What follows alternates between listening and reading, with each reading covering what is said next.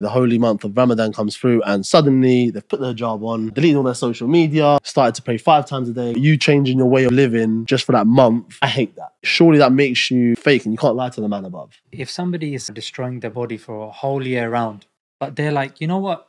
One month in the year, I'm just going to keep it clean. Just like the good deeds are multiplied, the bad deeds are multiplied. There's so many people being pulled towards intoxicants, haram relationships, to materialism, individualism for one month. If a person is able to pull away from that stuff, to cut social media off when it's become like a junkie's habit, Yeah. all right, my man.